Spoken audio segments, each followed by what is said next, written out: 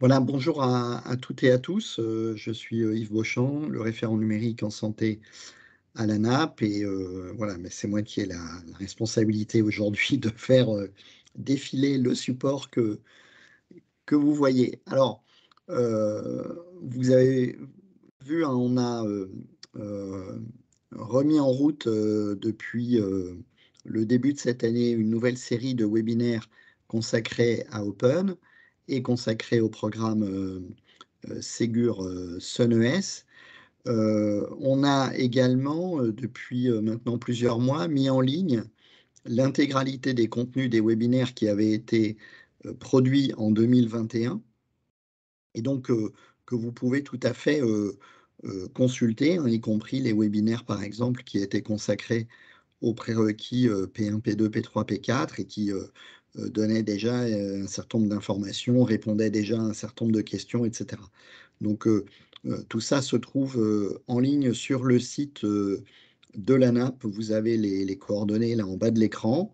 Et puis, par ailleurs, ben, pour la session d'aujourd'hui, on va particulièrement travailler autour de, du guide des prérequis et aussi un peu du guide des indicateurs euh, euh, dont les, pages qui, vous sont données en référence donnent la, synthèse et l'accès à l'ensemble des contenus. Donc euh, voilà, j'espère que vous avez pu prendre le temps de vous appuyer sur, sur ces outils, sur ces ressources au préalable et que voilà, vos questions viennent en complément des éléments qui ont déjà été documentés. Euh, ben, je, passe la parole à, Inès pour euh, voilà, donner quelques éléments de contexte sur le programme Open et en particulier sur euh, les sujets relatifs aux prérequis. Merci Yves. Bonjour à, toutes et à tous. Donc, pour ceux qui ne me connaissent pas, je suis donc Inès Gouil et je suis en charge du pilotage national du programme Open et SunES au sein de la DGOS. Alors, très très rapidement parce que je pense que maintenant vous connaissez pratiquement par cœur euh, les, points définissant le programme Open. Donc le programme Open, hein, c'est le plan d'action stratégique pour le développement du système d'information euh, hospitalier focalisé hein, sur la production de soins du coup à l'hôpital. À ce titre, hein, ce programme s'adresse exclusivement aux établissements sanitaires il a été défini sur une période de cinq ans, allant de 2019 donc à initialement fin 2022, mais dans le cadre d'une instruction en fait qui est venue mettre à jour l'instruction initiale, nous avons prolongé le programme jusqu'à fin 2023. Pourquoi? Parce qu'on a eu un certain nombre de remontées d'établissements qui nous ont souligné le fait que compte tenu de la crise sanitaire, leur projet de transformation numérique avait subi des ralentissements importants et qu'à ce titre, il serait compliqué pour eux d'atteindre les cibles d'usage. Et donc, c'est pour cela que l'on a euh, revu euh, les délais initiaux en proposant un prolongement à fin 2023 en place de fin 2022 initialement. Ce programme donc euh, s'adresse à l'ensemble des établissements euh, sanitaires euh, puisqu'on a tendance à penser qu'Open c'est uniquement un programme de soutien financier. Oui, c'en est un effectivement. pour autant, il est composé d'un autre type d'actions qui ont vocation à concerner tous les établissements de santé puisque finalement, il donne la ligne directrice de modernisation des SIH et à ce titre, tous les établissements de santé doivent se sentir concernés, qu'ils soient ou non financés par le programme Open et en particulier sur les prérequis. On insiste sur le fait que les prérequis doivent constituer vraiment euh, la priorité de l'ensemble des établissements de santé dans la mesure où à travers ces prérequis, on souhaite notamment s'assurer de l'existence d'un socle sécuritaire. Ce programme, euh, du coup, euh, est doté d'une enveloppe de 420 millions d'euros euh, consacrés au financement à l'usage. Donc, les établissements qui ont été sélectionnés par les ARS pour être soutenus financièrement par Open, eh bien, ce soutien financier est permis par la dotation d'une enveloppe de 420 millions d'euros. Donc, euh, ce programme est, constitué d'un certain, enfin, est un plan d'action qui se constitue d'un certain nombre de leviers qui sont complémentaires et qui dépassent le simple levier du financement. Et en termes de, gouvernance, euh, le programme Open donc, est piloté au niveau national par la DGOS, euh, qui travaille en totale complémentarité avec les agences régionales de santé, qui sont chargées de la mise en place opérationnelle du programme dans leurs régions respectives. Et de manière plus globale, bien entendu, Open s'inscrit dans la stratégie nationale de la e-santé incarnée par la feuille de route Accélérer le virage numérique en santé. Donc voilà les, grands éléments de contexte. Si on regarde un peu plus dans le détail, la couverture fonctionnelle open. Donc comme je vous le disais, en fait, hein, ça traite la production de soins euh, à l'intérieur des murs de l'hôpital. Donc on va retrouver euh, sept domaines fonctionnels qui correspondent finalement aux, priorités d'informatisation qu'on souhaite retrouver au sein de l'hôpital. Et euh, quatre prérequis et les quatre prérequis, ce sont vraiment euh, les éléments indispensables qu'on doit retrouver euh, dans le SIH de tout établissement pour s'assurer en fait euh, d'un niveau de sécurité minimum tant sur la partie identification patient que sur la partie plus globale infrastructure à travers notamment la mise en place par exemple la réalisation d'audits de cybersurveillance sur lesquels on reviendra également. L'autre prérequis qui est important, hein, euh, sur lequel euh, on, place un point d'importance cruciale et qu'on retrouve également à travers SUNES, c'est le P4 consacré à l'échange et le partage, où là, on souhaite sécuriser effectivement euh, la capacité de l'établissement à être ouvert sur son environnement en dialoguant notamment avec le DMP et la messagerie sécurisée de santé professionnelle et maintenant citoyenne dans le cadre de SUNES. Voilà pour les éléments, euh, on va dire, de contexte open. Donc, si on, se place dans, dans, ce qui nous réunit aujourd'hui, à savoir les prérequis. Donc, dans le cadre d'Open, on a quatre grandes familles de prérequis. Donc, je ne vais pas les détailler parce que je pense que l'intérêt de l'échange aujourd'hui, c'est vraiment qu'on puisse d'une part, donner la, parole à nos experts pour qu'ils puissent faire part de leur retour d'expérience et surtout prendre le temps de prendre vos, questions. Néanmoins, euh, il était important de rappeler du coup que dans le cadre d'Open, il existe quatre grandes familles de prérequis. Et en fait, on est venu également piocher, si je puis dire, dans ces prérequis Open pour définir les prérequis SUNES. Et donc, in fine, lorsque vous remplissez un certain nombre d'exigences de prérequis open, ben, par la même occasion, ça vous permet également de remplir euh, les prérequis SUNES. Alors, si on regarde la première famille de prérequis, donc identité et mouvement, on va retrouver quatre prérequis, donc euh, l'un autour de la, du, taux d'application connecté à un référentiel unique d'identité des patients et en capacité d'intégrer l'INS. Un deuxième prérequis autour de la cellule d'identité-vigilance opérationnelle un troisième prérequis autour du taux d'application connecté à un référentiel unique de séjour et de mouvement des patients. Et enfin, un quatrième prérequis autour de l'existence d'un référentiel unique de structure de l'établissement. Si on regarde, on fait le lien euh, avec SUNES, le, le prérequis qu'on a pioché pour SUNES, c'est celui qui est relatif à la cellule d'identito-vigilance opérationnelle. Et donc, sur ce prérequis-là, euh, donc autant sur les, deux autres, euh, enfin autant sur deux d'entre eux, on est sur finalement un seuil d'éligibilité euh, quanti, c'est-à-dire qu'on attend des, applications que 80% d'entre elles soient en capacité d'intégrer l'INS et soient également connectées à un référentiel unique de séjour et de mouvement et de patient. Donc ça, c'est pour les deux prérequis quanti. On a deux autres prérequis du coup qui sont quali. Donc la cellule d'identito-vigilance opérationnelle, où là, en fait, on va demander à ce que l'établissement justifie d'un fonctionnement régulier des cellules d'identito-vigilance établissement et GHT et l'existence de procédures de fonctionnement formalisées des CIV. Et concernant le dernier prérequis, donc référentiel unique de structure, là, hein, on, challenge l'établissement sur l'existence du référentiel unique de structure interne et des procédures mises à jour concernant euh, du coup ce référentiel. Donc sur la partie identité mouvement, côté open, on sera sur quatre prérequis. Sur la partie SUNES, on sera du coup sur un prérequis, cellule d'identité-vigilance opérationnelle. Et on a un nouveau prérequis qu'on ne retrouve pas dans le programme open, qui fait référence au référentiel national euh, d'identito-vigilance. Il manque le national dans la slide, hein, on le mettra à jour, qui est un référentiel, je le rappelle, opposable. Et à travers ce NES, on demande à l'établissement euh, euh, une, ce qu'on appelle une appropriation. Donc, c'est un terme un peu mou, mais derrière ce terme-là, ce qu'on souhaite s'assurer, nous, au niveau des pouvoirs publics, c'est que d'une part, l'établissement a bien connaissance de l'existence du RNIV et qu'il l'a lu et qu'à travers cette lecture, il s'est projeté, il a su projeter ses principes dans son organisation. Et donc, pour ce faire, on propose dans ce NES que l'établissement remplisse en fait un formulaire un questionnaire dématérialisé où justement on va un petit peu challenger euh, sa lecture et sa compréhension. Donc, euh, il n'y a, pas, on va dire, de réponse euh, binaire oui, non, exact ou pas. On n'est pas dans une approche scolaire. C'est vraiment, on va enclencher une dynamique d'intérêt pour le RNIV et de projection dans l'organisation des établissements.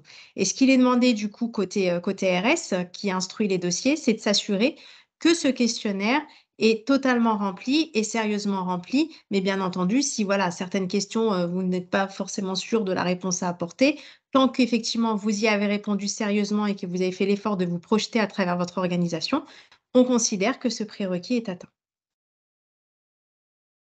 Sur la partie du coup sécuritaire, donc là, euh, on va retrouver quatre prérequis. Donc un autour de la continuité d'activité, où là, on va demander hein, qu'il l'existence d'un plan de reprise d'activité donc euh, formalisé euh, et testé, et bien entendu, attenant à ce PRA, euh, des procédures qui assurent l'anticipation en fait d'un fonctionnement en mode dégradé du système d'information dès lors qu'il y a des pannes. Un deuxième prérequis autour du taux de disponibilité des applicatifs et mise en œuvre d'une évaluation de ce taux. Donc là, euh, le seuil d'éligibilité, c'est l'existence d'une observation du taux de disponibilité avec fourniture du taux cible de la méthode d'évaluation et du taux évalué, donc hein, bien en lien avec le P2.1. Un troisième prérequis, euh, donc, euh, que là, on va retrouver du coup à l'identique dans ce NES, qui est la présence d'une politique de sécurité et plan d'action SSI réalisé, existence d'un responsable sécurité. Donc, à travers ce prérequis, hein, on va checker l'existence d'une politique de sécurité des systèmes d'information, d'une analyse détaillée des risques, d'un plan d'action associé, bien entendu, à l'analyse des risques, en lien avec l'instruction 309. Donc là, il y a une petite évolution par rapport à Open où en fait, on demandait à ce que la totalité de l'instruction 309 soit mise en œuvre. Et on a eu des remontées établissements qui nous ont dit que voilà, c'était un, petit peu, euh, compliqué euh, d'exiger euh, cela, quand bien même l'instruction date de 2016. Du coup, pour nous, il est important de remettre dans la perspective l'existence de l'instruction 309 et on demande aux établissements de s'appuyer sur cette instruction 309 pour établir en fait leur plan d'action associé à l'analyse des risques. On demande également l'existence d'une fonction de responsable sécurité DSI à travers euh, la nomination d'un RSSI et l'existence de la procédure de remontée des incidents de sécurité. Concernant le positionnement du RSSI, celui-ci est à privilégier en dehors de la DSI, par exemple rattaché à la cellule qualité. Et ce RSSI, bien entendu, peut être mutualisé entre plusieurs structures.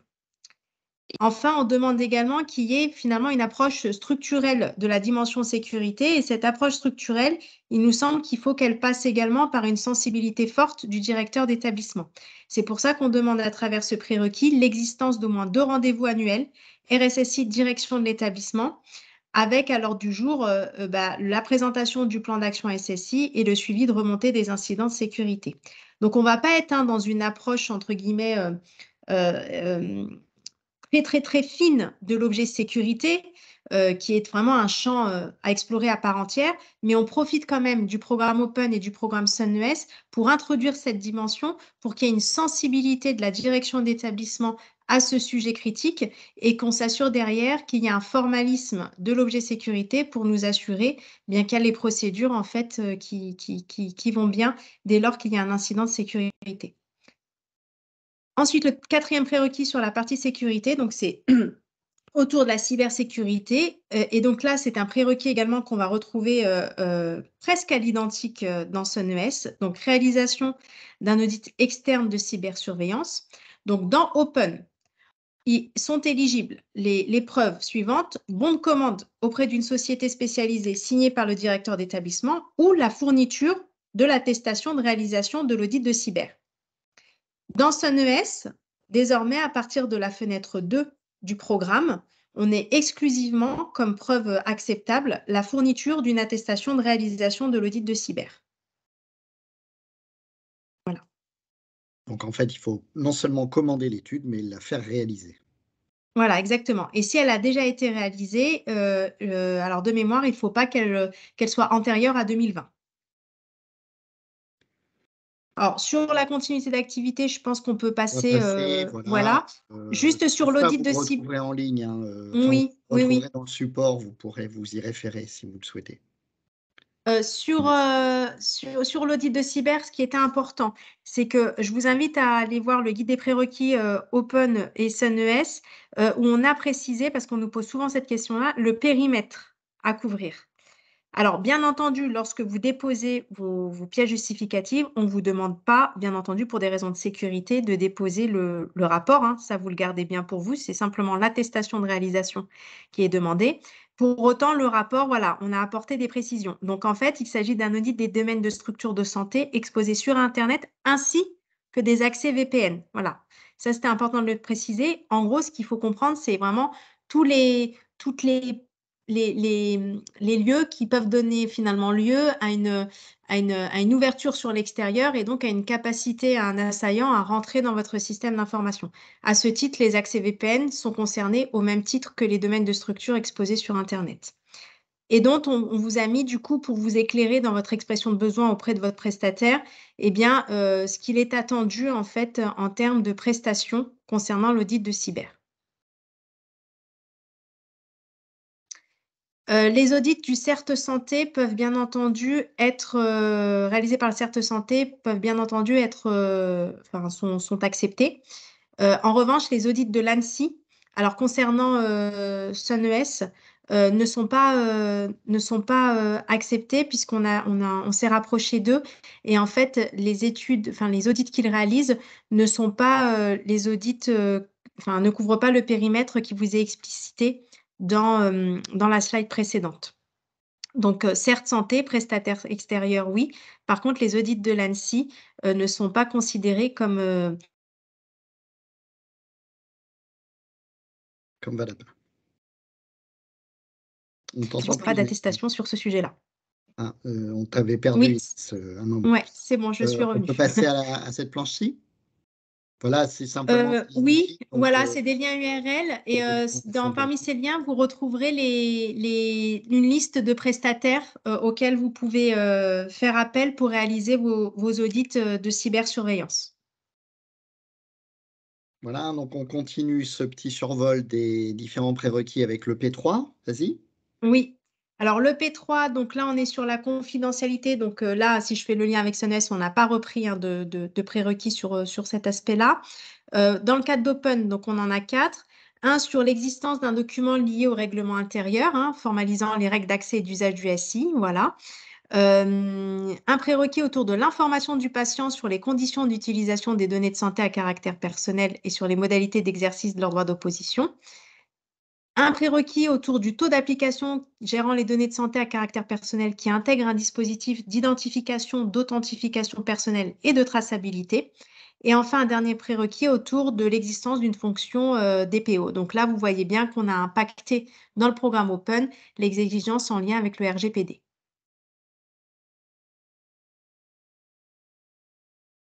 Voilà, encore des liens. Donc ça, bon, ça se passe de commentaires.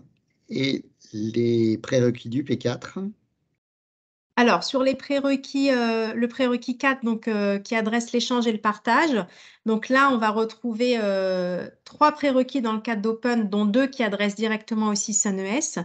Donc, le premier, sur la capacité du ACH à alimenter le DMP, donc directement ou indirectement. Et donc là, c'est vraiment finalement, on check la DMP compatibilité du SIH. Hein. Un deuxième prérequis autour du peuplement du ROR, euh, donc, euh, où là, euh, effectivement, on est euh, en seuil d'éligibilité sur le peuplement du ROR sur différents champs d'activité en respectant le critère qualité défini dans le guide des indicateurs open. Et enfin, le dernier prérequis donc qu'on va retrouver dans SUNES, c'est euh, l'existence d'une messagerie opérationnelle intégrée à l'espace de confiance MS Santé. Voilà. Et donc, ces deux prérequis, euh, donc le P4.1 et le P3.4, sont repris à l'identique dans SUNES, ce qui est euh, totalement logique, puisque dans SUNES, hein, on, on, volet 1, on est sur euh, l'alimentation du DMP. Volet 2, on est sur l'usage de la MSS Pro et citoyenne. Et à ce titre, il est normal de s'assurer du coup de l'existence de l'infrastructure qui va permettre au SIH de dialoguer de manière sécurisée avec les services socles que sont le DMP et la MSS. Euh, pour être bien sûr, là, le, dernier prérequis, la messagerie, c'est le P4.3. Euh, oui, pardon, c'est une erreur. C'est le P4.3. oui, oui, oui, c'est une coquille. mm. Merci. Et enfin, euh, comme on voulait adresser euh, en même temps le, programme SunVest, donc là, en fait, les prérequis qu'on a repris, nous, du programme Open, ce sont les prérequis qui adressent exclusivement le, le volet 1, alimentation du DMP. Et on a, du coup, à travers l'ouverture du volet 2, hein, qui est consacré à la MSS Pro et citoyenne, on a intégré un nouveau prérequis exclusivement là du coup sur SunES euh, pour prétendre au volet 2, euh, qui est la capacité technique de l'établissement d'envoyer et de recevoir un message test vert depuis la messagerie sécurisée de santé citoyenne. Donc c'est le pendant finalement de ce que vous retrouvez euh, dans le P4.3, c'est le pendant de la messagerie citoyenne dans le cadre de SunES. Voilà. Et donc là, on va demander une preuve de la capacité de l'établissement à finalement interagir avec la messagerie sécurisée citoyenne. Je m'en arrête là pour le moment parce que j'ai beaucoup parlé. Je, vois qu'il y a quelques questions dans le, dans le chat, donc je, vais y répondre et je pourrai prendre vos questions ensuite euh, plus tard euh, dans la présentation. Merci. Merci euh, Inès pour ce rappel de, de ces quatre ensembles de prérequis. Maintenant, très rapidement, je vais vous présenter le contenu de la boîte à outils pour le P1 et puis ensuite, on, passera aux recommandations, retour d'expérience sur le P1 et on pourra traiter vos questions. Et ensuite, on enchaînera de la même façon sur P2, P3 et P4. Alors, vous avez euh, ici euh, euh, la page du centre de ressources de la NAP qui vous donne l'accès finalement à l'ensemble des boîtes à outils pour l'atteinte des prérequis du programme Open. Euh, voilà, donc c'est un, lien que vous retrouvez facilement, qui était déjà indiqué en début de cette présentation. D'une manière générale, dans cette boîte à outils, on retrouve trois types de composants. Euh, un outil d'autodiagnostic qui vous permet euh, d'apprécier quelle est votre situation au regard des, des prérequis et surtout de, voilà, de vous sensibiliser, d'attirer votre attention sur les différents points de vigilance à la fois techniques, euh, organisationnels, fonctionnels, euh, qu'il faut euh, mettre sous contrôle pour chacun de ces prérequis. en complément de l'outil d'autodiagnostic, on vous propose un plan d'action qui s'adapte en fait à votre, à votre situation et qui vous guide pour l'atteinte des, des, cibles d'indicateurs pour les différents prérequis. Et en complément euh, de ce plan d'action, on peut vous proposer, selon les cas, euh, différentes euh, fiches méthodologiques, des modèles de documents, des documents types qui peuvent servir de, documents de preuve ou de documents d'attestation d'atteinte des, des, prérequis, enfin voilà, tout ce qui peut vous être utile pour, pour travailler. voilà, donc dans le plan d'action, en fait, euh, euh, comment dire, euh, quand vous avez indiqué dans l'autodiagnostic avoir maîtrisé un sujet, mais évidemment, on ne vous le propose pas dans le plan d'action.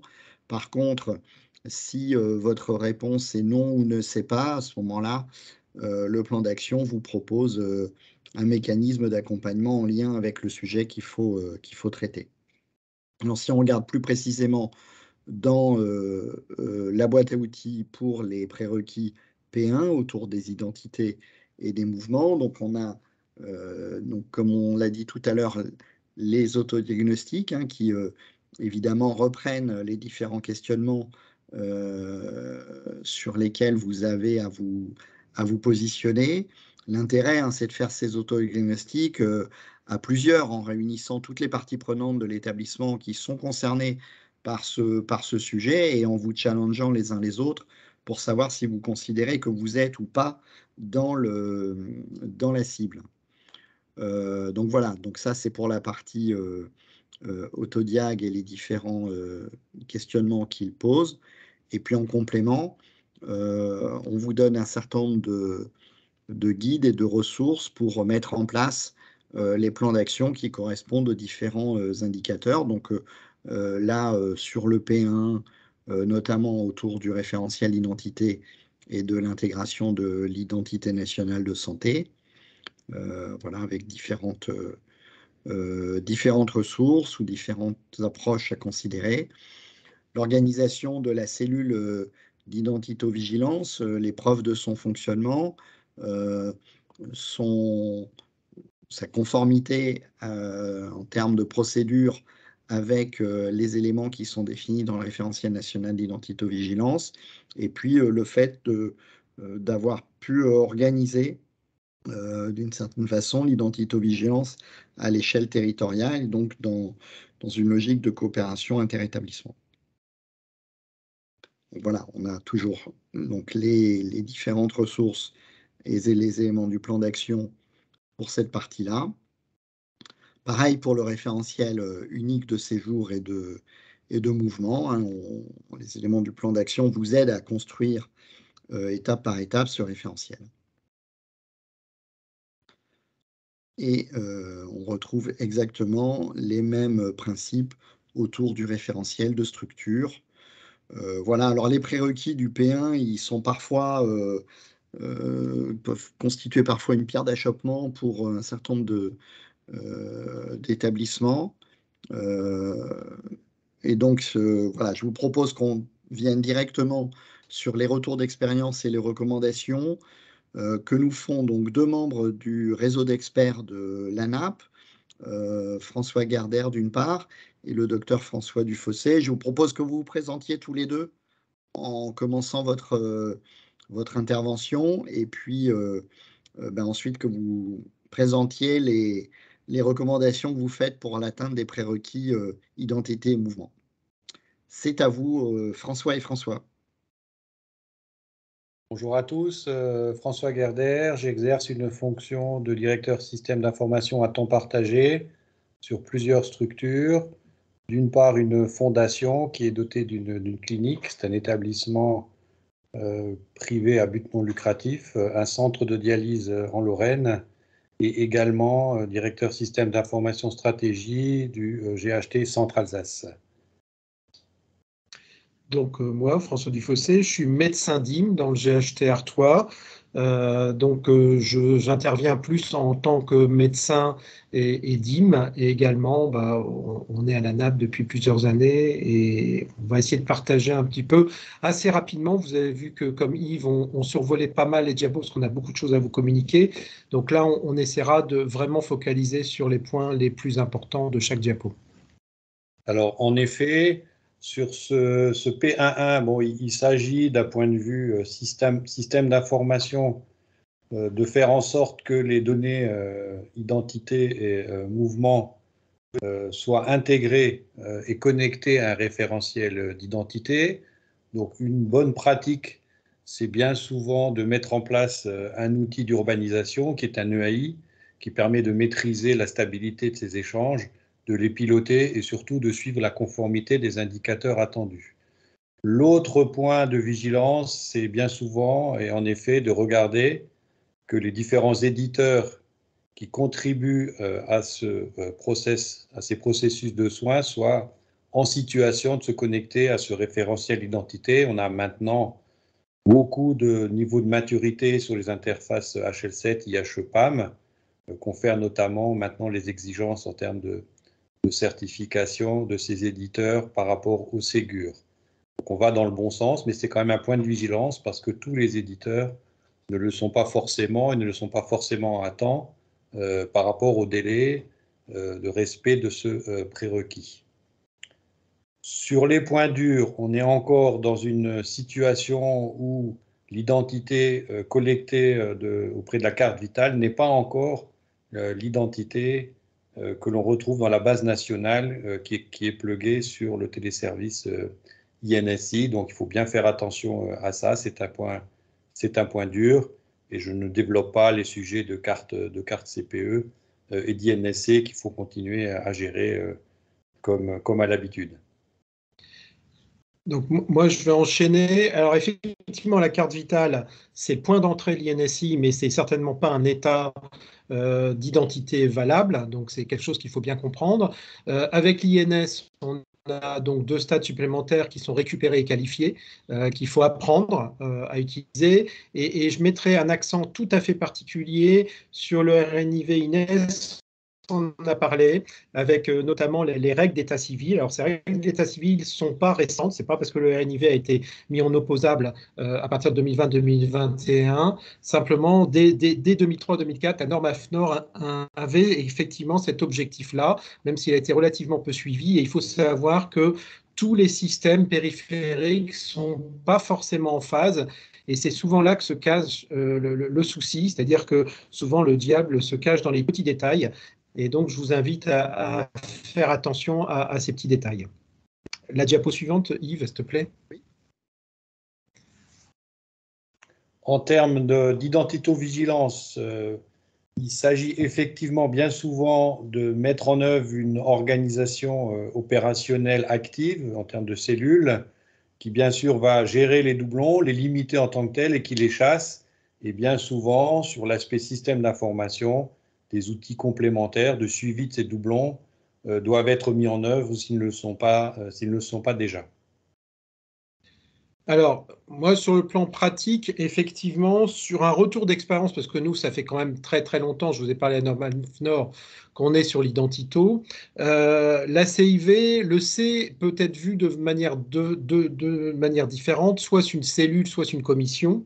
Euh, la cellule est importante parce que pour nous, on la pense euh, utile 24-24-7-7. C'est donc un mail sur lequel tout le monde est branché pour réagir, de façon à pouvoir réagir même le samedi-dimanche pour un changement d'identité dans l'heure.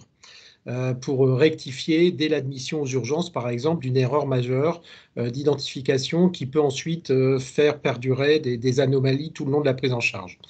Euh, on a parlé rapidement de l'AGI, c'est quand même quelque chose d'important d'avoir une autorité de gestion de l'identité qui est euh, pas tout à fait comme la commission ou la cellule qui est obligée de se réunir au minimum, je vous rappelle, deux fois par an c'est le minimum. Euh, L'AGI, c'est elle qui va piloter et ça donne euh, une euh, jonction avec le point dur qui est faites attention à toutes vos procédures. pensez à bien tout rédiger, pensez à bien penser même aux critères de recherche qui doivent être identiques dans tout l'établissement. donc c'est important de faire ça et, et c'est important de sensibiliser les gens aux fusions et aux collisions. Diapo suivante, Yves.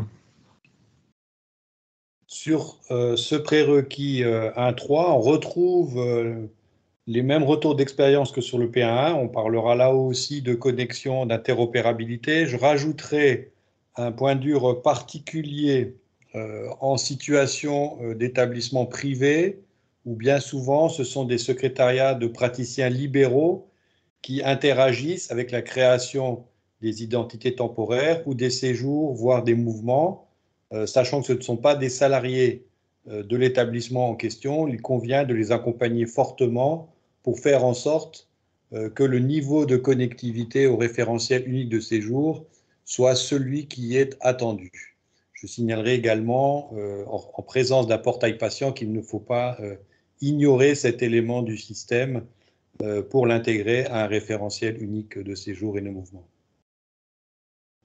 Alors moi, je vais reprendre à peu près les mêmes, les mêmes choses, c'est-à-dire que l'intercommunication avec les agendas, avec euh, les réseaux ville-hôpital, fait que l'identification, elle n'est pas toujours d'excellente qualité, je vous rappelle que l'INS arrive à un mode qui est qualifié, on n'est plus à provisoire validé. Donc c'est quelque chose qui est important. Il faut faire donc euh, de plus en plus appel éventuellement à une préadmission dématérialisée avec euh, tous les documents nécessaires qui vous permettent de qualifier rapidement votre identification. Et surtout, ce qu'il ne faut pas oublier, c'est qu'il y a beaucoup d'intervenants, on l'a vu, euh, comme l'a dit François, euh, les formations des soignants, nous, au sein des établissements hospitaliers, sont des choses à privilégier. C'est eux qui sont en première ligne lorsqu'il y a une collision, une usurpation d'identité. Donc souvent, si vous voulez récupérer, il y a effectivement il y a le labo qui peut intervenir, mais c'est idéal quand les soignants commencent à noter les collisions et les usurpations. Ça veut dire que vous avez une bonne appropriation de l'identito-vigilance au sein de votre établissement. Diapo suivante, Yves.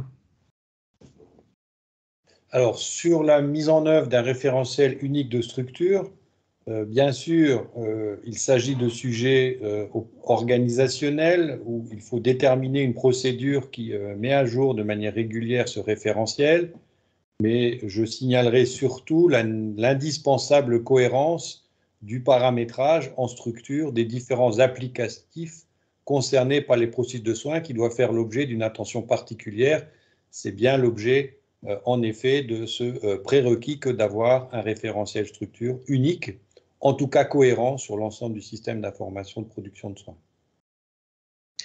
Alors, moi, je voulais juste insister sur le fait que la structure et le référentiel unique, c'est plus tout à fait ce qu'on avait l'habitude de connaître. C'est quelque chose sur lequel maintenant vont se brancher beaucoup de choses, euh, notamment les, systèmes d'eau, d'électricité, de réseau. Donc, c'est plus seulement le lit, l'armoire en pharmacie, euh, la position du lit, euh, porte-fenêtre.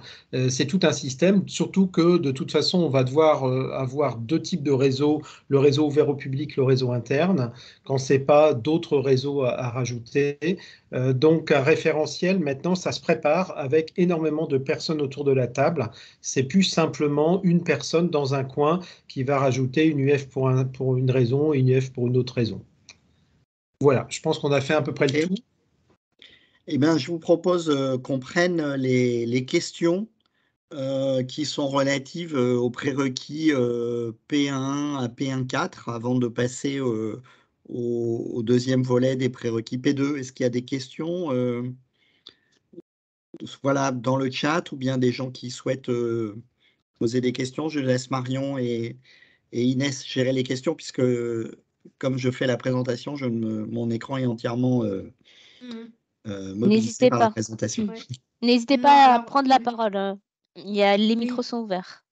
Oui, je, je, là, je, j'ai répondu aux, questions dans le chat, mais euh, il me semble pas de questions, en tout cas posées à l'écrit, sur, euh, sur euh, le, le P1. D'accord. Bon, ben, Après, peut-être qu'à l'oral, il y a, enfin, peut-être qu'on, voilà, des personnes souhaitent intervenir à l'oral sur ce prérequis. Ah, N'hésitez pas à lever la main et si vous souhaitez intervenir. Alors, alors là, il y a une question du coup, je vais la lire en direct. Donc, dans O6, nous avons la possibilité d'intégrer un document pour l'appropriation du RNIV. Est-ce obligatoire? Donc là, c'est sur le P1, mais plus entre guillemets côté euh, hein, avec l'appropriation. Donc non, bien. Alors, initialement, on avait prévu dans ce sens-là, mais au final, c'était vous embêter pour pas grand-chose. Donc en fait, ce que vous faites maintenant, c'est que vous remplissez le formulaire en ligne le questionnaire en ligne dans démarche simplifiée. D'ailleurs, je vais mettre le, formulaire de candidature dans le, chat. Euh, et donc, bien entendu, lorsque vous avez euh, rempli ce questionnaire-là, euh, on n'exige pas nécessairement que voilà, vous, vous l'imprimiez pour le mettre au format PDF, pour le remettre dans O6. Ça n'a pas forcément d'intérêt. Donc, nous, en tout cas, ce que l'ARS va regarder, c'est vraiment la complétude dans démarche simplifiée. Et c'est cette complétude-là qui euh, fera foi euh, pour l'acceptation du prérequis. Voilà, donc euh, voilà, j'espère avoir répondu à la question.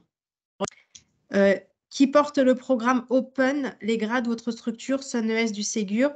bah là, je reviendrai après peut-être sur la partie gouvernance, si vous voulez que je revienne là, que je revienne là-dessus. je laisse oui, c'est pas une question qui est directement liée. Oui. Mm. ah, bah, là, il y a une main levée. S'il n'y a pas d'autres questions, on peut passer au P2. Après, vous euh, pourrez. Euh, si, si, il y a une main, il y a une ah. main levée. Euh, Madame Léa Guina. Oui, bonjour. J'avais une question par rapport à un de nos établissements qui n'a pas participé au programme Open, mais qui participe au SUNES.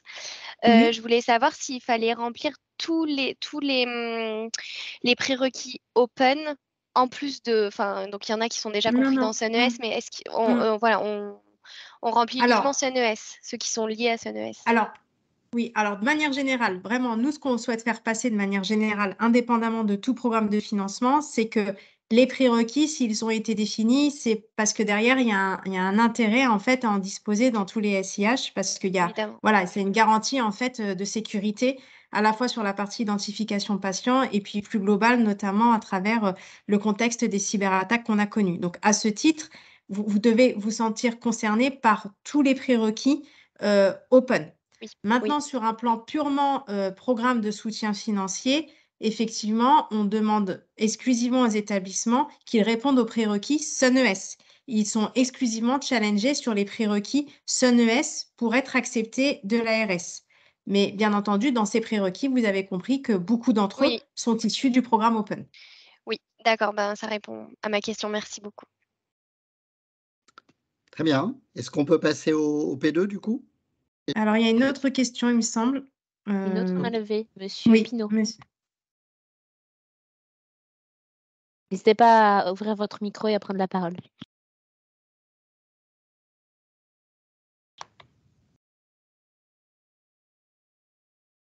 Monsieur, Monsieur Pinot, n'hésitez pas, vous pouvez ouvrir votre micro. Peut-être un, problème de micro. Euh. Non, j'ai fait une mauvaise manip, excusez-moi. Ah, voilà. Vous aviez une question euh, ah. ah non, c'est peut-être une mauvaise manip de lever de main. Sinon, on a monsieur ou madame Cellier.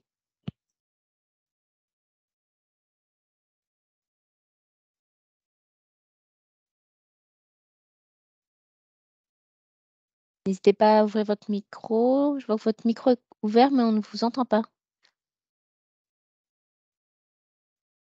Sinon, n'hésitez pas à écrire dans le chat votre question, parce qu'on ne vous entend pas par, euh, à l'oral. Cette fois-ci, je, ne me trompe pas.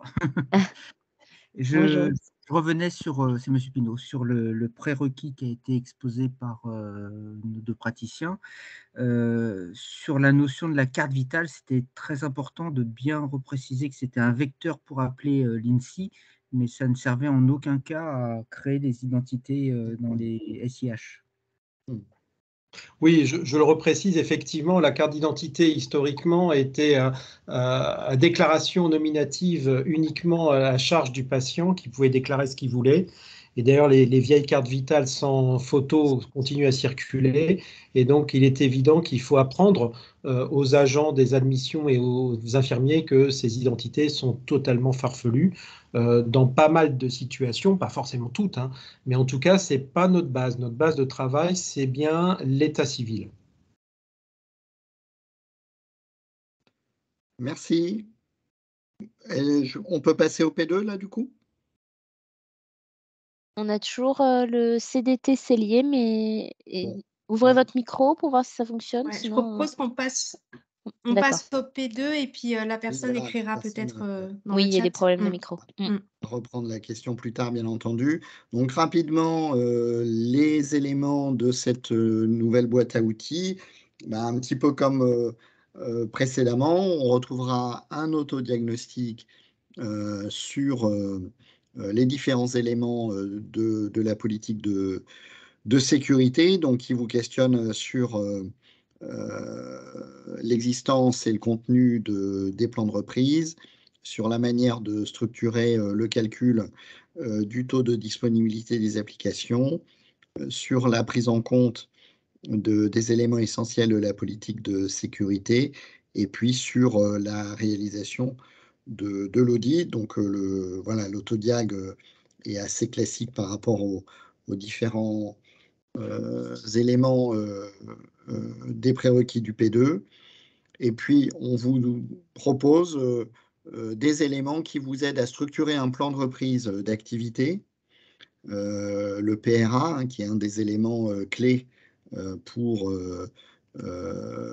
cette politique de sécurité, avec une fiche méthode, un modèle de procédure de reprise, évidemment, euh, à, adapter et à compléter euh, dans votre euh, environnement propre, dans votre organisation et en tenant compte de la réalité de votre système d'information. Donc voilà, vous avez dans cette boîte à outils plusieurs éléments qui peuvent vous aider à structurer votre réponse sur ces prérequis.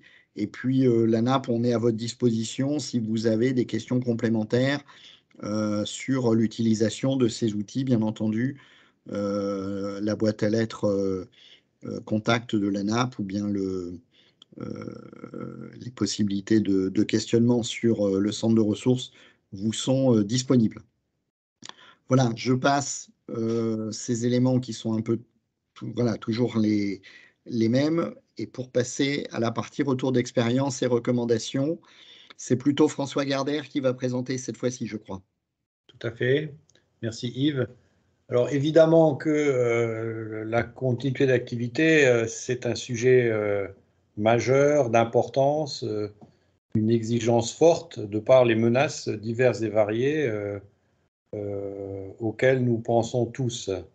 une première option, et on, on, le, rencontre de plus en plus pour des structures de taille intermédiaire qui n'ont pas les capacités de se projeter sur euh, des investissements lourds en termes de doublement des équipements des salles machines, c'est d'externaliser auprès d'un hébergeur euh, agréé, voire certifié maintenant, HDS, euh, l'ensemble de ces logiciels métiers, ce qui du coup reporte l'exigence de PRA vers cet éditeur, mais la certification HDS l'impose en tant que telle.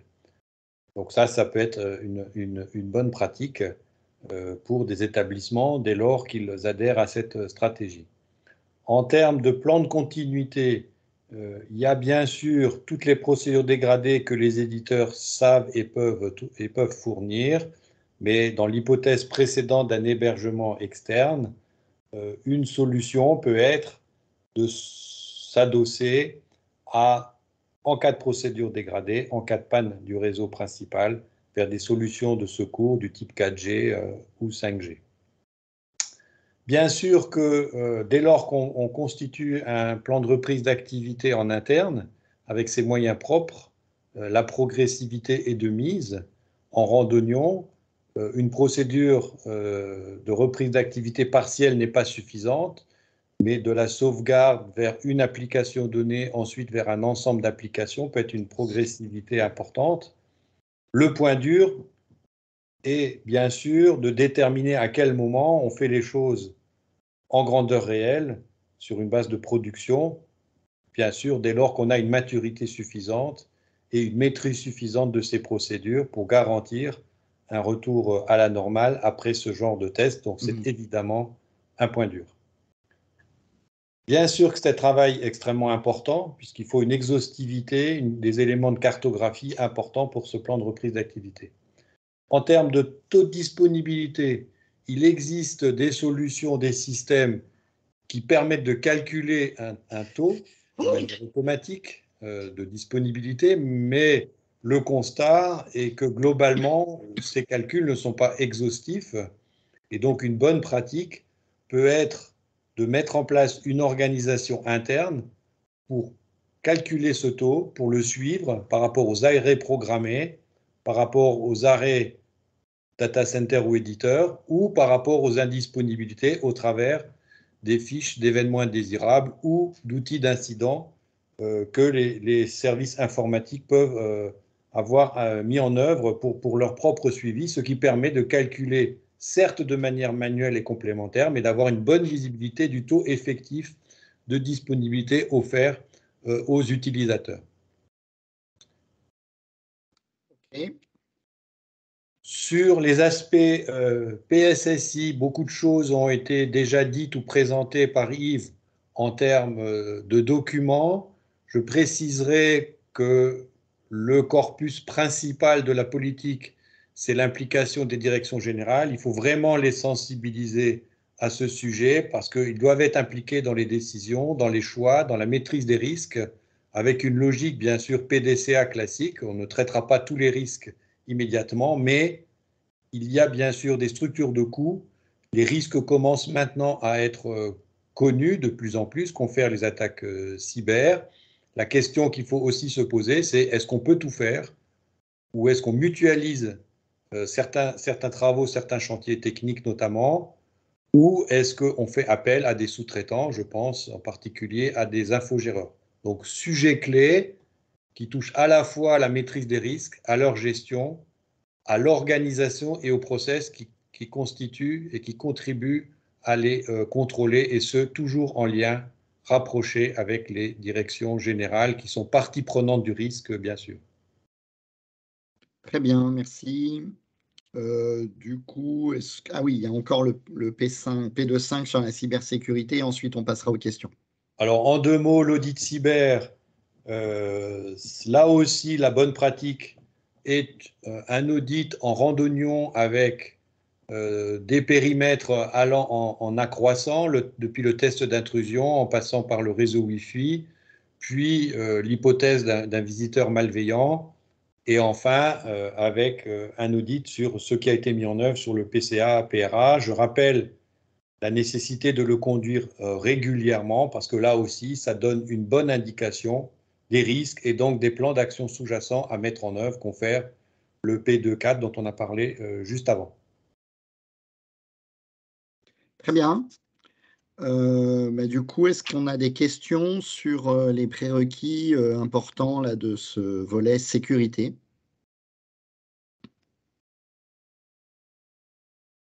N'hésitez pas à lever la main pour demander la parole.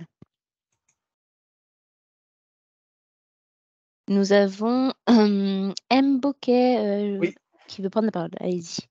Bonjour, Michael Boquet, responsable informatique d'une clinique. Au niveau de l'audit, vous parlez de, faire un audit en P25 Open, mais quand on prend le prérequis SUNES, il est uniquement en front web, et là, vous le prenez en interne aussi. Qu'est-ce qu'on doit, mettre en œuvre pour le SUNES Alors, sur la partie cyber, en tout cas, ce qui est exigé dans le cadre d'Open et de SunES, on est vraiment sur euh, le test des vulnérabilités vis-à-vis de l'extérieur. Ça ne veut, ça veut pas dire derrière que pour autant, vous ne pouvez pas faire voilà, des, un audit en interne, mais en tout cas, nous, ce qu'on cherche à checker, c'est vraiment euh, la résilience, entre guillemets, du système d'information, mais vis-à-vis d'attaques extérieures. D'accord, on est sur du front web et, de la, du, front web et du mail euh, et du mail entrant. Quoi. Bah, en fait, après, ça, dépend, voilà, ça dépend des, des, des, SIH, mais en tout cas, c'est tout, tous les domaines qui sont exposés euh, sur l'extérieur. Tout ce qui, D'accord. C'est ça, en fait. Il faut que vous, fassiez un état des lieux de tout ce qui est potentiellement ouvert sur l'extérieur et c'est ces ouvertures-là qui doivent être checkées par l'audit. La, bonne pratique, si je peux me permettre, c'est en effet de regarder tout ce qui est ouvert sur l'extérieur. Il, y a, les frontaux web, il y a la messagerie, mais il y a aussi euh, la télémaintenance, il y a aussi potentiellement des réseaux Wi-Fi euh, patients ou externes qui ne sont pas tout à fait étanches. Bref, il faut, sur l'audit cyber, considérer tout ce qui est ouvert hors du système d'information protégé. Et, y compris les éléments qui ne sont pas forcément euh, entièrement sous le contrôle de la direction des systèmes d'information, puisque, euh, on le sait bien, il y a des services, des professionnels, des, des organisations dans l'établissement qui peuvent avoir euh, fait installer euh, leur propre dispositif avec euh, potentiellement des mécanismes d'échange vers l'extérieur. Et donc, voilà, ce n'est pas simplement le SIH au sens des applications majeures gérées par la, direction informatique, mais en gros, tout ce qu'il y a de numérique dans l'établissement. Dans ok, c'est plus clair pour moi, merci. Merci à vous. Une autre question?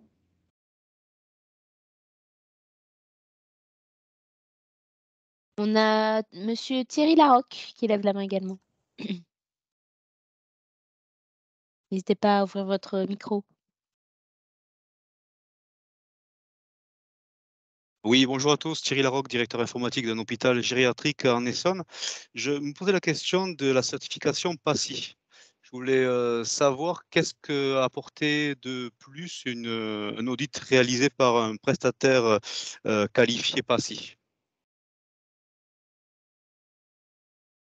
Alors, en tout cas, moi, je ne pourrais pas, enfin, je, je, pourrais pas vous répondre précisément à cette question. Ce que je peux vous dire, c'est que, en tout cas, on a eu effectivement une demande d'établissement qui ne savait pas forcément vers quel prestataire en fait s'orienter pour réaliser cet audit. Et donc, à ce titre, on a orienté, euh, enfin, y a, voilà, comme cette liste existe, c'était une manière euh, de donner l'information euh, plus facilement. Maintenant, ce, que ce que je vous mettais dans le chat, hein, c'est que bien entendu, nous, ce qu'on attend, c'est que ce soit un prestataire entre guillemets, spécialisés sur le sujet qui le réalisent. Et d'ailleurs, j'en profite pour dire qu'on va faire, on va mettre une petite évolution par rapport à ce prérequis, c'est-à-dire qu'on veut que ce prestataire soit français ou dans l'Union européenne, mais qu'on évite en fait de faire appel à un prestataire étranger parce que la, la question nous a été posée, on ne l'avait pas stipulé, donc on va venir le, préciser hein, pour des raisons de sécurité que vous comprenez bien, surtout dans le contexte actuel. mais voilà, à part ça, euh, on n'a pas, nous, d'exigence sur euh, la mobilisation euh, d'un prestataire passif pour, pour la validation du prérequis. Maintenant, la valeur ajoutée que ça apporte, bah, je pense que c'est voilà, des entreprises qui, ont éprouvé la réalisation de ces audits. Et à ce titre, c'est peut-être plus sécurisant pour des établissements qui ne savent pas trop à qui faire appel. Mais après, je ne pourrais pas vous en dire plus. Je ne sais pas, François, si... Oui, je, pourrais préciser peut-être un peu cette question.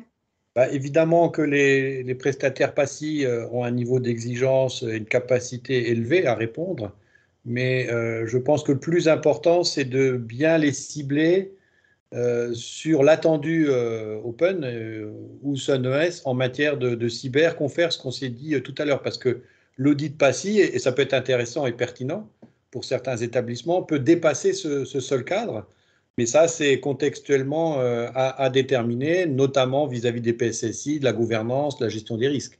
Hein, euh, l'auditeur et le prestataire euh, auditeur peut aller bien au-delà du, P2.5, ce qui peut avoir en effet beaucoup d'intérêt. Merci. D'autres questions? Bien on passe au, au prérequis P3, confidentialité. Question. Plus de questions? Bon, très bien. Bon, on, est, on est bien dans les temps, là, c'est parfait. Il nous reste une demi-heure, ça, ça suffira pour traiter les, les deux séries de, de prérequis qui nous restent. Donc, sur la confidentialité, euh, voilà, ben, à nouveau, le, la boîte à outils de la NAP euh, s'articule autour d'un autodiag, de plans d'action et de documents euh, ressources, guides, euh, documents type. Donc euh, voilà, on va pas. vous avez tout ça est documenté sur la présentation, donc vous pourrez le retrouver tranquillement à tête reposée. Et puis bien sûr, télécharger toutes ces ressources sur le site de la NAP si vous souhaitez vous en servir. voilà, vous avez de quoi outiller tout ce, tout, ce, mécanisme, par exemple, voilà, avec une, fiche de compétences sur le rôle et l'activité du DPO, par exemple, son registre d'activité, etc. Donc, ben, François, je vous laisse, François et François, je vous laisse présenter les, les éléments de recommandation. Alors, oui, cette fois-ci, c'est moi qui vais plus prendre la parole, mais François peut intervenir aussi. Euh, donc, en fait, euh, ce qui est important, là, je suis plus à l'aise avec ça parce que j'ai beaucoup participé à ça. Euh, rédiger une charte d'utilisation, si vous en avez une qui est même un petit peu vieille, il faut la reprendre. Donc, ça, c'est clair. la charte d'utilisation du SI, ça doit être quelque chose de fondamental et je vais pouvoir synthétiser à peu près les quatre diapos au fur et à mesure qu'on va passer parce qu'on va toujours être sur les mêmes notions. donc, d'abord, il faut créer vraiment un groupe de travail et intégrer tout le monde. Il faut que cette charte soit diffusée. Donc, il faut que cette charte soit très pratique. Il faut que cette charte soit présentée à tous les euh, nouveaux arrivants. Il faut que la charte soit présentée aux externes, aux internes qui interviennent, euh, puisque c'est la base qui va organiser la notion de traçabilité des accès qui va être fondamentale. Et je vous invite aussi, si vous avez déjà une charte d'utilisation, à pouvoir différencier cette charte selon les catégories. Alors les catégories, pas tout le monde bien entendu, mais au moins les catégories admin, euh, parce qu'il y a des droits un peu particuliers, les catégories des utilisateurs privilégiés comme le DIM, les contrôleurs de gestion, et puis les utilisateurs plus, plus standardisés. Euh, si vous arrivez à ça, je pense que vous êtes vraiment au summum de, de, l'intégration des chartes. Alors, le, le, la diapo suivante, peut-être, Yves, s'il te plaît. Euh, donc, ce qui est important, c'est vraiment utiliser tous les canaux de diffusion. Alors, livret d'accueil, site internet, affiche. Je vous avais dit un petit flyer tous les entrants doivent avoir euh, cette notion-là. Euh, c'est un travail qui est fait aussi en collaboration avec le DPO et on en parlera aussi pour la traçabilité des registres. Il faut vraiment avoir des documents qui sont synthétiques, mais il ne faut pas faire une charte en deux pages. Hein. Ça ne veut pas dire que la charte doit être synthétique. La charte doit être complète et il doit y avoir une diffusion synthétique de cette charte pour que tout le monde puisse être amené à en prendre connaissance. Très important, il est extrêmement fondamental que tout le monde en prenne connaissance, et notamment de la notion de traçabilité. Je le répète. La diapo suivante. Alors euh, là, ce qu'on parlait effectivement euh, sur des notions euh, qui, sont plus intégrées sur le dispositif d'identification personnelle, et là François peut éventuellement intervenir un peu plus puisque c'est plus sa partie technique. donc effectivement, il y a une politique de, de, sécurité de mot de passe qu'il faudra faire attention. Il y a une politique de suivi aussi et de traçabilité des connexions parce que vous allez voir que euh, tous les applicatifs n'ont pas forcément euh, une notion de, sécurisation et, d'enregistrement de la traçabilité des accès. Euh, par exemple, vous pouvez amené à utiliser, je sais pas, des outils bureautiques, notamment des serveurs partagés sur lesquels on stocke les documents. Or là, souvent, on a un petit défaut de traçabilité sur qui peut intervenir sur ces serveurs, qui peut modifier, qui peut supprimer, qui peut rajouter des éléments. donc ça, c'est quand même quelque chose d'important de, voir. Alors, je ne sais pas si François, tu voulais rajouter un truc. Oui, peut-être quelques éléments euh, pour, pour compléter. Euh, bien souvent, on, rencontre euh, des contextes où le, mot de passe n'est pas d'une qualité suffisante en termes d'exigence. Hein, confère les travaux de l'ANSI sur le sujet. Hein. il, y a, un minimum de choses à respecter, donc c'est vraiment le, premier élément à, mettre en œuvre, même si ça demande de la sensibilisation, de l'explication et de la pédagogie. Le deuxième élément, c'est qu'il faut résolument aller vers des logiciels métiers qui soient en capacité de se connecter à euh, un annuaire, euh, parce que là, évidemment, en termes de gestion de comptes et de mots de passe, on centralise le sujet et on le maîtrise euh, davantage. Alors, diapo suivante, Yves. Donc là, on va parler du DPO. Alors le DPO, c'est un peu fondamental.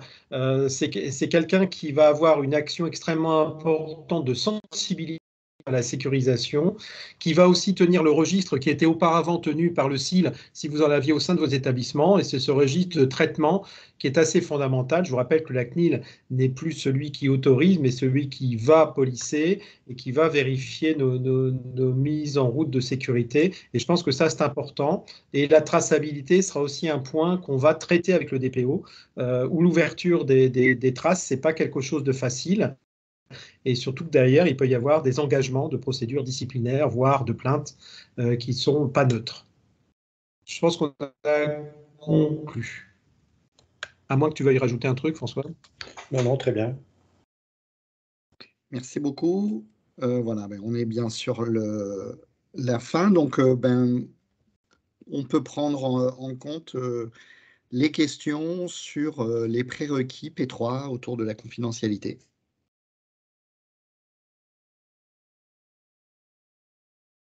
Comme tout à l'heure, n'hésitez pas à, lever la main pour prendre la parole. Euh, euh, Monsieur Boquet, oui, allez-y. Euh, dans les points durs, vous évoquiez les interconnexions LDAP. quels moyens on a de mettre un peu la pression sur nos éditeurs de logiciels qui ne cherchent pas, qui veulent rester avec leur mainmise de maîtrise de leurs propres outils de traçabilité? Plutôt que de la connexion d'annuaire.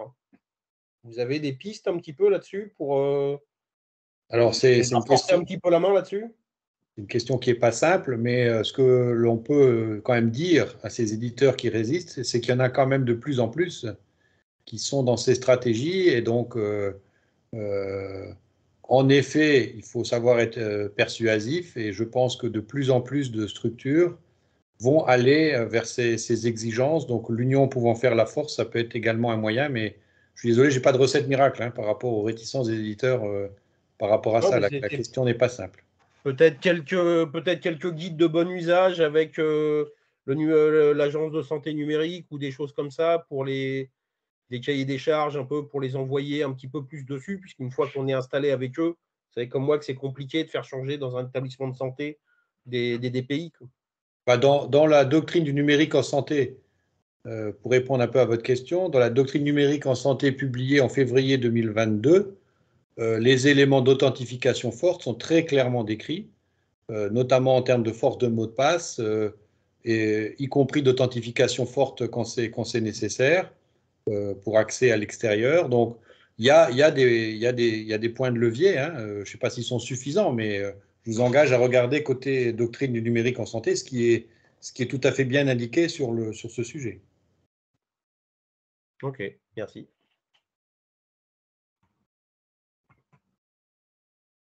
Est-ce qu'il y a d'autres questions? Pas pour le moment, mais n'hésitez pas à lever la main ou, dans le chat. Ah, si à l'écrit, existe-t-il des modèles de registre un peu standardisés? Alors, il me semble que oui, la NAP avait réalisé euh, ce travail-là, hein, donc dans une des boîtes à outils des prérequis. Alors, je ne sais plus laquelle, mais euh, oui, il y a des modèles de registre type. Il y, a, même eu des modèles de registre du temps des cils hein, qui peuvent encore être utilisés. Hein. donc, euh, des modèles de registre, ça existe effectivement. Il faudrait mettre les liens ah euh, les modèles dans le chat. registre, euh, le registre du DPO. Oui, du DPO et qui était avant l'ancien registre des cils. Tu sais, c'est identifier tous les traitements qui sont demandés et quelles sont les mesures qui ont été prises, etc. Vous trouverez ça dans la boîte à outils, effectivement. Et après, si vous, si, voilà, bon, je pense que dans toutes les régions maintenant, ou en tout cas dans beaucoup de groupements régionaux de e-santé, il y a un responsable, un référent sur les sujets de sécurité, donc il peut aussi vous conseiller ou, vous guider dans, ces questions. Hein, et probablement, il a aussi des, des outils à disposition pour, pour ce genre de sujet, notamment la, tenue du, registre du DPO. Et puis, où est-ce qu'on pourrait... Euh, je me demande si on ne trouve pas ça d'ailleurs euh, également sur les sites de la CNIL. Euh, enfin, à vérifier. En tout cas, voilà, si vous avez une question là-dessus, on, peut aussi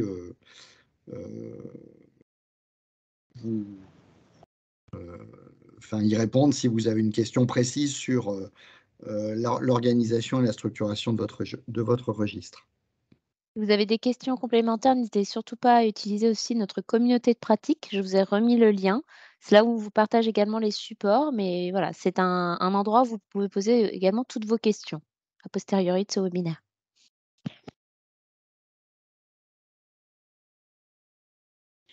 On, on peut passer au dernier volet du coup? Oui, on peut y aller. Très bien. Voilà, donc les quatrièmes séries de prérequis, ceux qui euh, euh, concernent euh, les activités d'échange et de partage, hein, donc notamment l'utilisation de la messagerie sécurisée de santé et l'accès au dossier médical partagé à mon espace santé. donc voilà, toujours de la même façon, une boîte à outils ANAP avec l'autodiagnostic qui vous permet de voilà, de passer vraiment euh, au crible euh, euh, toutes les questions que vous pourriez vous poser sur ce sujet-là et, identifier par exemple des, des, points sur lesquels vous n'aviez pas forcément pensé travailler.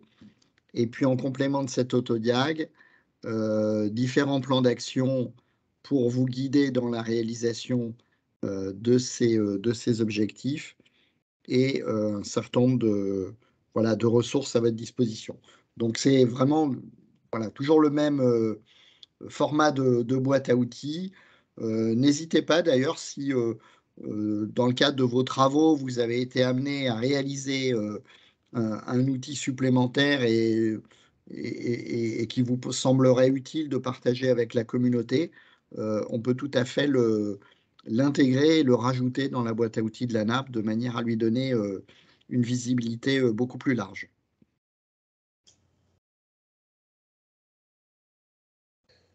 Euh, sur l'alimentation du DMP, je, parlerai du sujet effectivement lié à, l'organisation en préconisant une progressivité dans l'alimentation, un nombre réduit de documents, parce que bien sûr, c'est un travail de longue haleine au regard de la complexité potentielle du système d'information, comme de la capacité des éditeurs à faire, même si maintenant la grande majorité des éditeurs des pays sont homologués en, alimentation. Je laisse François compléter sur les aspects effectifs liés à l'organisation. Pardon.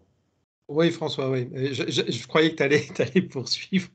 Euh, donc, euh, moi, je vais dire simplement euh, sur le plan pratique organisationnel, et ça va rejoindre ce que disait François, c'est-à-dire qu'effectivement, il ne faut pas non plus penser alimenter la totalité parce quelque chose qu'on oublie toujours, c'est quels que soient les domaines qu'on ouvre, il y a toujours des subtilités sur les documents. Et c'est au moment d'alimenter le DMP qu'on finit par simple si vous voulez envoyer la biologie par exemple, de façon à ce que la biologie soit en évidence comme sur un labo de ville, et euh, eh ben vous tombez ensuite tout de suite sur euh, les problèmes de l'HIV, sur les problèmes de, de, certaines sérologies, euh, sur le problème de l'anapathe. Par exemple, vous ne pouvez pas sortir un résultat d'anapathe s'il n'y a pas eu la consultation d'annonce en cas de cancer, etc. Donc finalement, on se rend compte que quand on creuse à ce moment-là, le labo n'a pas de filtre, puisqu'il était prévu pour fonctionner en interne et pas forcément fonctionner en externe. Donc ça rejoint un peu ce que disait François, c'est-à-dire que effectivement, il faut aller doucement et euh, tous nos logiciels ne sont pas forcément équipés euh, pour être opérationnels immédiatement. Donc, c'est au fur et à mesure que vous allez découvrir ces petites euh, nouveautés et ces petites surprises. donc, allez-y doucement. De toute façon, il n'y a, aucun problème, mais et surtout pensez à faire valider institutionnellement les, sorties. Ça, c'est un truc important. Peut-être la diapo suivante, Yves.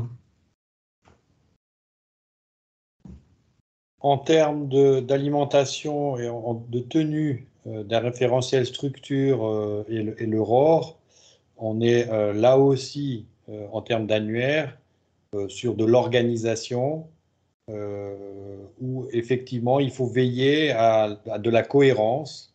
Cette cohérence, elle passe par de l'organisation, je l'ai déjà dit, si possible avec, et c'est un, point dur, avec des capacités d'interfaçage euh, entre les différents euh, logiciels métiers que nous, que nous possédons. Dans la plupart des cas, euh, et très pratiquement, on, en arrive effectivement à une alimentation du ROR de manière manuelle qui est encore trop déconnectée des données structures. Donc ça, c'est évidemment le, point dur.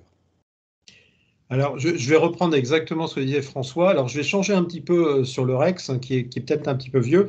C'est qu'effectivement, on va vers une alimentation du ROR euh, en, direct, notamment euh, sur les urgences, par exemple, euh, avec le problème de la crise sanitaire, des engorgements d'urgence, des plans blancs qui sont mis en œuvre, puis suspendus et prêts à, repartir. Donc, il faut commencer à bien digérer son système d'info et à pouvoir au moins déjà afficher en interne une idée de sa chauffe ou de sa surchauffe, euh, de toute façon qui sera peut-être transmise manuellement en, ce moment, mais qui va à terme, mois qui viennent, probablement être en interfaçage avec soit une récupération de données régulière, soit une alimentation automatique. Donc l'aurore, c'est vraiment quelque chose qui va euh, nous occuper euh, dans les temps qui viennent, et, et c'est peut-être l'enseignement qu'on a eu avec cette crise sanitaire. Peut-être diapo suivante, à moins qu'il y ait des. Sur la messagerie euh, sécurisée de santé, ben, il y a évidemment euh, la solution euh, à identifier et à mettre en œuvre pour développer les usages, c'est le point clé.